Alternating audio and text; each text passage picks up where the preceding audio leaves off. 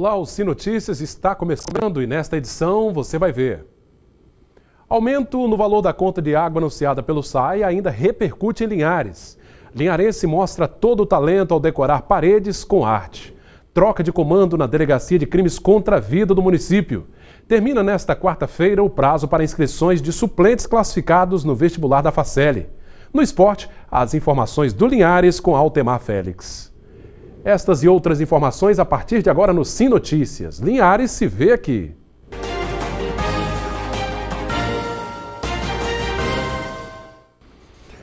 O aumento no valor da tarifa de água e de coleta de esgoto, anunciada nesta segunda-feira pelo diretor do SAI de Linhares, ainda repercute na cidade. Muita gente é contra o reajuste de quase 45% na conta de água.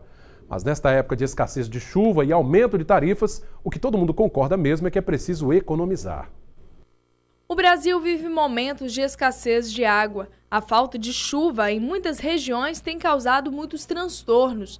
Em Linhares, apesar da abundância desse bem tão precioso, é preciso economizar. Esta semana, o SAAI da cidade divulgou a ampliação de novos projetos que irão contribuir para a distribuição e abastecimento de água na região. E junto com a criação desses novos projetos, veio a surpresa de um reajuste na conta de água. E isso não agradou muito a população. Eu acho isso um absurdo, viu?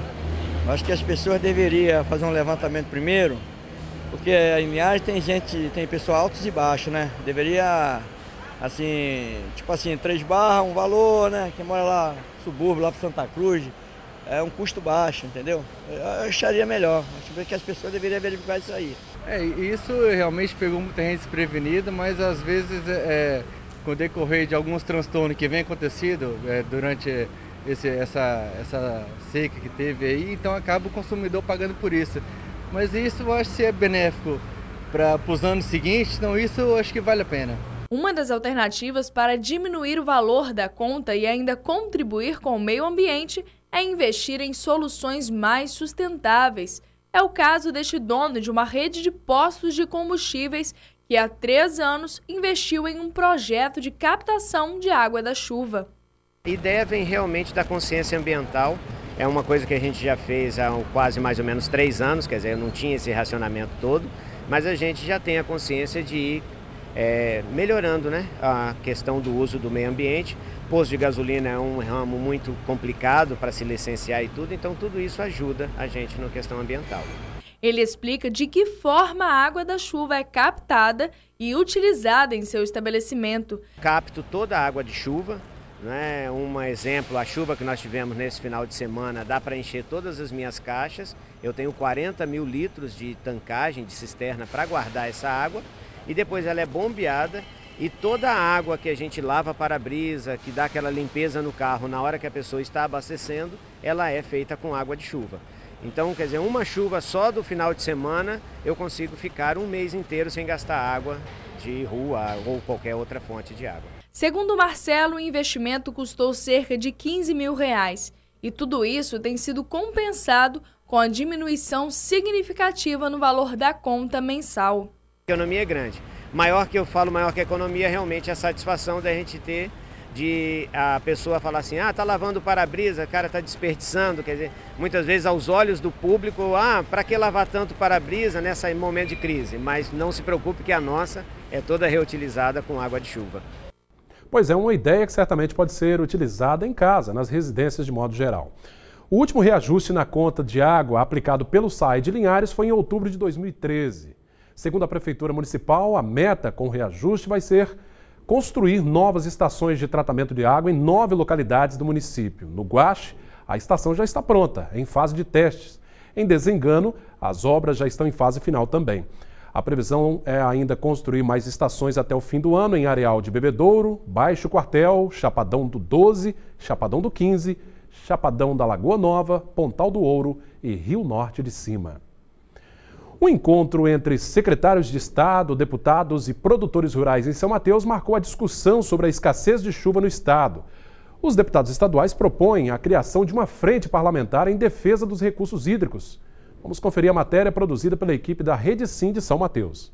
Durante a reunião de sexta-feira, onde autoridades políticas, agricultores e lideranças discutiram sobre os problemas da estiagem, os deputados estaduais presentes destacaram a ação a serem tomadas pela Assembleia. Apresentamos esse, esse requerimento né, da criação da frente, é justamente algo que pode ser uma ferramenta para a gente poder desbruçar em cima os parlamentares e discutir uma saída é, sobre esse problema. Eu acho que a gente precisa fazer debates firmes, principalmente na, como pesquisa científica né, e também tecnológica, para que a gente possa encontrar saídas sobre essas questões emergenciais. O governador determinou o secretário de Agricultura, ao secretário de Meio Ambiente, diretoria do IEMA, do IDAF, a todos os órgãos do governo para visitar a região, conhecer a realidade, dialogar com a comunidade, com o setor produtivo, com os comitês de bacia, para encontrar ações, sugestão de ações para amenizar o impacto da seca e estudar ações que possam fazer com que a nossa região esteja mais preparada para enfrentar outros períodos de longa estiagem.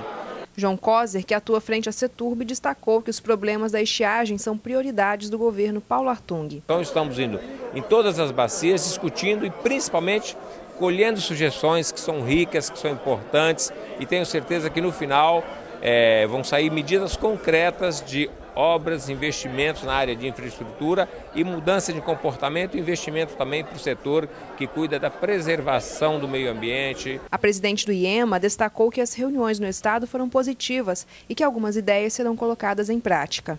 Ela também falou sobre a construção de barragens, um dos maiores pedidos dos produtores rurais. Vocês aqui no norte já têm uma prática maior do que a do sul né, sudeste do nosso estado é, em construções de barragens, que dão alguma segurança hídrica. O problema é que às vezes essas barragens não são bem construídas e a gente está convivendo com efeitos extremos, ora a estiagem, ora as chuvas fortes. E nós já tivemos aqui, vocês devem se lembrar, de barragens né, sendo derrubadas uma após a outra em cascata e trazendo com isso prejuízos às pessoas, riscos de vida. Isso a gente também não quer conviver, por isso algum controle para que, a, que isso não ocorra. É, não há como negar a importância de continuar discutindo esse assunto. Candidatos que ficaram na suplência do vestibular da Facele deste ano devem ficar atentos. É, a, a, é que a matrícula dos convocados termina nesta quarta-feira, dia 11. Os candidatos devem comparecer à Secretaria Acadêmica de 8 da manhã às 7 horas da noite para realizar a matrícula e garantir a vaga. Esta é a primeira lista de convocado dos, dos suplentes para os cursos de Administração, Direito e Pedagogia ofertados pela Faculdade Pública de Linhares. Ao todo foram disponibilizadas 300 vagas para os turnos matutino e noturno. Vamos saber agora como fica o tempo nesta quarta-feira em toda a região. A quarta-feira será de sol com poucas nuvens, infelizmente sem chuva. As temperaturas em Linhares variam entre 20 e 35 graus. Colatina mínima de 19, máxima 36. São Mateus mínima de 21, máxima 34 graus. Já em Vitória, mínima de 20, máxima 33 graus. Daqui a pouco, o talento de um artista linharense. Já já, depois do nosso intervalo. A gente já volta.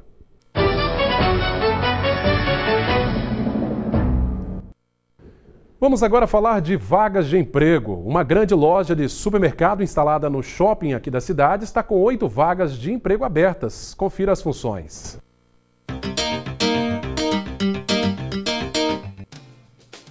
As funções são para cartazista, conferente, confeiteiro, auxiliar de tesouraria, além de operador de caixa. Os interessados podem enviar o currículo para rh@oksuperatacado.com.br. E uma grande rede de hotéis que chega à cidade também abriu processo de seleção para a contratação de funcionários. São várias as funções: coordenador administrativo financeiro, coordenador de alimentos e bebidas, coordenador de recepção, coordenador de governança, camareiras, coordenador de manutenção. Os interessados também podem enviar currículo para currículo@intercityhotels.com.br. Só para repetir, currículo@intercityhotels.com.br. E o Cine de Linhares abriu nesta terça-feira mais de 50 vagas em diversas áreas. O setor de produção é o com maior número de oportunidades. A sede do Cine de Linhares fica na Avenida Governador Lindenberg, bem no centro da cidade. Um artista linharense tem mostrado todo o seu talento com pinturas em parede. O trabalho de Ingrid Ramos tem sido reconhecido e impulsionado através das redes sociais. Linhares é terra de muitos talentos e nesta terça-feira fomos conhecer um pouco mais sobre Ingrid Ramos, uma artista autodidata. Sem ter passado por uma escola de artes, ela desenha desde criança e, com o passar dos anos, a prática fez que a complexidade e a riqueza de detalhes fossem levados em consideração nos trabalhos dessa artista. Ingrid tem 22 anos e desenha desde criança. Agora, além do papel, ela tem apresentado suas obras nas paredes. O desenho em si é desde criança, vontade de desenhar. Sempre desenhei, toda vez que chegava da escola, fazia uns riscos, desenhava. O da parede é como te mostrei o desenho, foi o primeiro que eu fiz no meu quarto. Ah, um dia eu gostei de desenhar, fazer essa parede e fiz. Isso, eu postei no Face e muita gente se interessou. Muita gente começou a comentar, comentar, deu repercussões. Aí que eu fui passei a fazer. Além da criatividade, a inspiração vem de desenhos vistos também na internet e adaptados a seu modo ou a gosto do cliente. São de desenhos de tatuagens, de amigos, tatuadores, de famosos que eu sigo também pela internet. Em papéis são fotos, entendeu? De casais, amigos, filhos, que me pedem desenhos de foto, realismo. E de parede, geralmente, de plantas, folhas, árvores, corujas e filtro dos sonhos, que combinam com o quarto. Para concluir um trabalho como este, Ingrid leva em média de uma a três horas. Ela, que já é sucesso nas redes sociais, falou sobre sonhos e expectativas para o futuro. Quem sabe um dia virar tatuadora, entrar na carreira, como eu tenho vários conhecidos, é bem interessante. Muita gente me pede. E também, ou fazer quadros também, que dá bastante lucro. Parabéns a Ingrid pelo talento, muito bonito com certeza. Vamos à cotação do café, confira os números.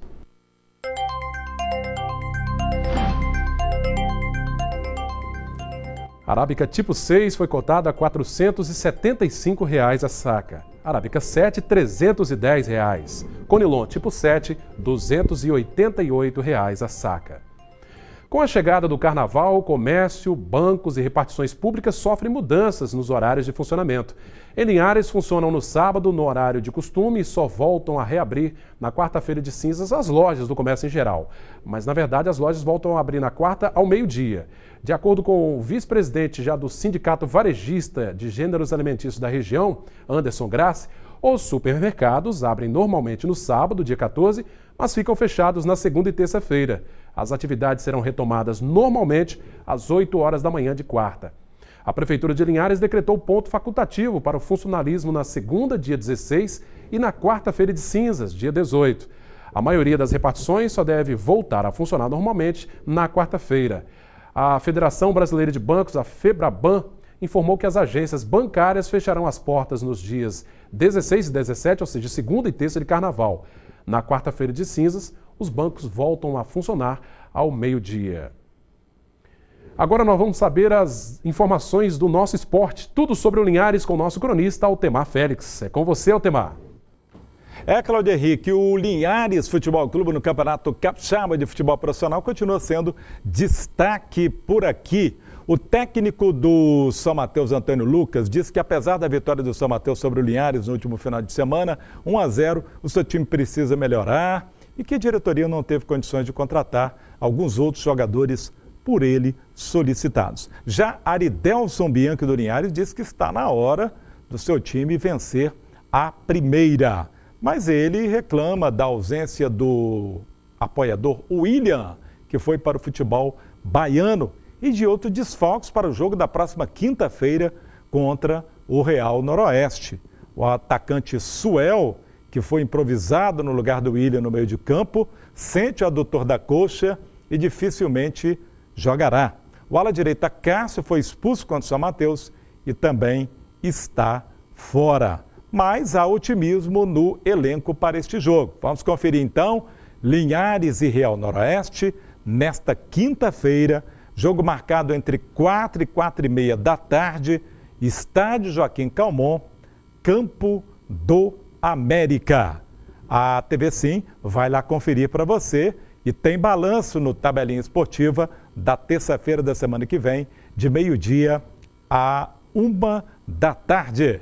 É com você, Cláudio. Obrigado, Altemar, pelas informações. Só corrigindo a informação, nós divulgamos que a Prefeitura de Linhares terá ponto facultativo na próxima semana. O, o atendimento normal só voltará mesmo na quinta-feira. Portanto, na quarta-feira de cinzas também é ponto, ponto facultativo para o funcionalismo público municipal. Daqui a pouco, depois do nosso intervalo, você vai ver uma entrevista falando sobre a troca de comando na Delegacia de Crimes contra a Vida aqui de Linhares. A gente já volta.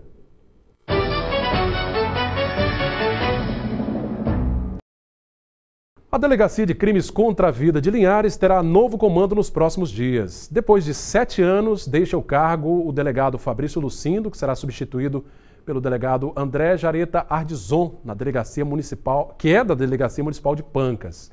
Lucindo passará a comandar agora a Delegacia de Polícia Civil de Soretama. Ele está aqui conosco para falar um pouquinho sobre esta, esta mudança.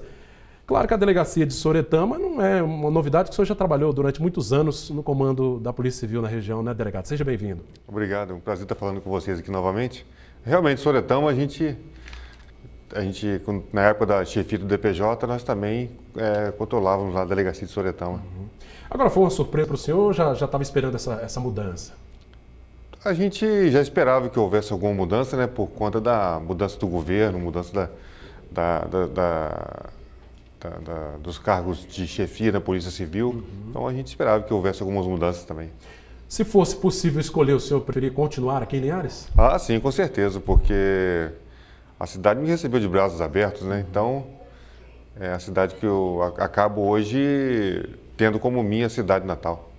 Perfeito. Delegado, fica assim alguma alguma chateação por essa transferência, alguma mágoa ou não? É, ah, é tocar em frente o trabalho. De jeito nenhum. É tocar em frente o trabalho e também porque são sete anos de Linhares e eu não tenho que reclamar de nada, só tenho a agradecer. Uhum.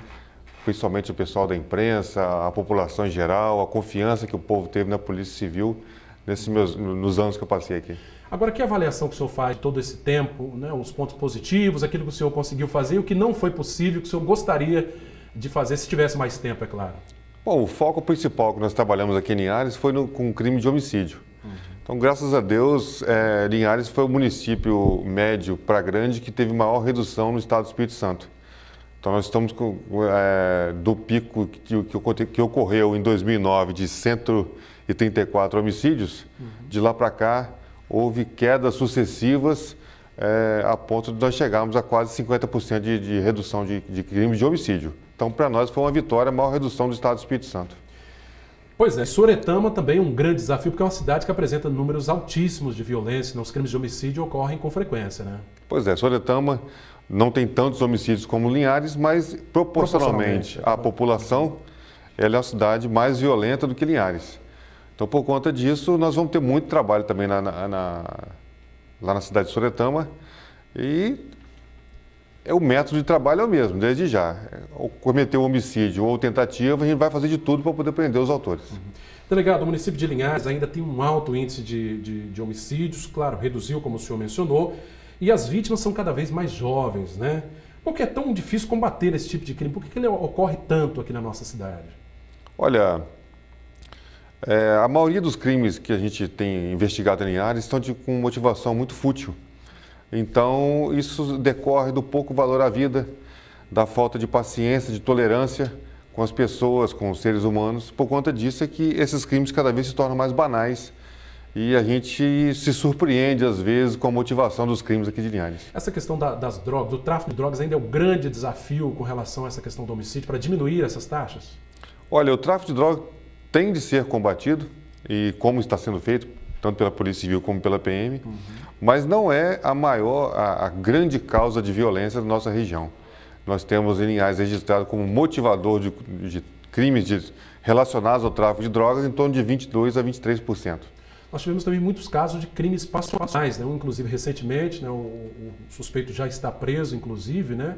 uma, uma grande quantidade. Né? Isso, é, são esses casos. crimes passionais, crimes motivados pelo ciúme, crimes motivados pela bebedeira de final de semana. Mistura uma coisa com a outra. Mistura uma coisa com a outra. Você, é, dificilmente em Linhares a gente passa o final de semana é, sem homicídio, porque a mistura folga com bebedeira e, e aí acontecem essas coisas. Eu estou conversando com o delegado Fabrício Lucindo, né, que está deixando a Delegacia de Crimes contra a Vida aqui de Linhares, vai assumir o trabalho da Polícia Civil em Soretama. Delegado, sem querer, é claro, criticar o trabalho da Justiça, mas é, para o senhor como delegado de polícia, bate uma certa frustração em ter que é, concluir um inquérito e verificar que a pessoa é culpada né, da, daquele crime Passa-se alguns meses, de repente você percebe que aquela pessoa foi liberada, né? já, já está longe da cadeia. Fica aquela, aquela frustração, depois tivemos tanto trabalho para aprender, mas infelizmente a pessoa está solta. É, isso. No, mais no início da minha carreira, isso me frustrava um pouco, um pouco mais. Mas a gente acaba se acostumando, porque também a legislação ela, ela, ela emperra a, a possibilidade de decisão do Poder Judiciário uhum. e da atuação do Ministério Público.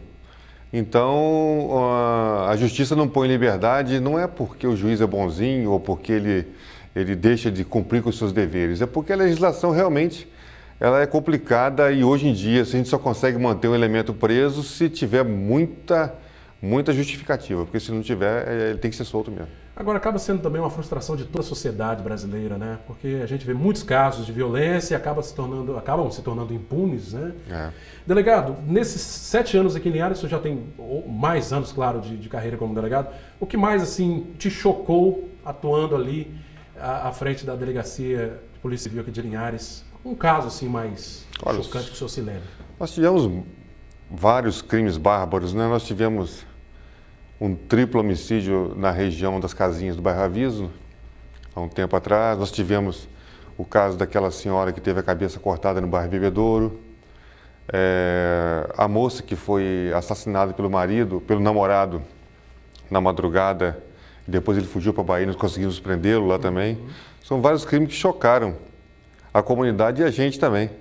É, e vários outros, né, que a gente não, não, não agora não, não tem nem como lembrar. Tá, joia. Nesta, nessa sua transferência agora para Soretama, aqui o senhor sempre pontuou o seu trabalho contando com a participação da população, que é fundamental no esclarecimento dos casos. Vai ser assim também na cidade vizinha? Com certeza. A gente incentiva a população a denunciar, a procurar a polícia, a denunciar pelo 181, porque a gente só consegue resolver os crimes com a confiança que a população tem na polícia. Aqui em Linhares, graças a Deus, nós conseguimos quebrar esse paradigma, porque a, a população não confiava na polícia e passou a confiar, e por conta disso que esses crimes foram, foram elucidados e Linhares tem um dos maiores índices de, índice de elucidação de crimes do Estado, graças à população. Perfeito. Só para a gente finalizar, delegado, os desafios que o senhor né, vê aí para o próximo colega que vem para te substituir, o que, que o senhor deseja para ele nesse trabalho agora à frente dessa difícil missão de, de esclarecer os homicídios aqui da cidade? Ó, desejando a ele muito, muito afinco, muito trabalho, muito, muita sorte. E ele pode contar comigo para o que deve é para ajudar a resolver é, esses crimes de Linhares, porque aqui é minha cidade agora e eu me interesso pelas coisas da nossa cidade. Então eu estou à disposição para ajudá-lo. Tá joia. Delegado Fabrício Lucindo, mais uma vez obrigado. Inclusive, esperamos continuar né, contando com a sua colaboração também na Delegacia de Polícia Civil de Soretama, né, trazendo as informações para a gente do que acontece. E obrigado pela sua presença e sucesso lá à frente da Delegacia de Polícia Civil da cidade vizinha, viu? Eu que agradeço, é um prazer estar falando com vocês e agradecer a imprensa também, porque sem a imprensa é, a gente não teria um trabalho tão fortuito. Tá joia. Conversei com o delegado Fabrício Lucindo, deixando a Delegacia de Crimes contra a Vida de Linhares depois de sete anos para assumir a Delegacia de Polícia Civil de Soretama. Esta edição do Sim Notícias está terminando. Você, é claro, pode contribuir com o nosso telejornal enviando sugestões de reportagens para o e-mail que aparece aí na sua televisão. pautalinhares.redesim.com Acesse também o nosso canal nas redes sociais, veja lá as reportagens na, no Facebook, também no YouTube, ou ligue para o nosso telefone que aparece em tela, 3373 2000. Obrigado pela sua audiência. Até a nossa próxima edição. Sim Notícias. Linhares se vê aqui.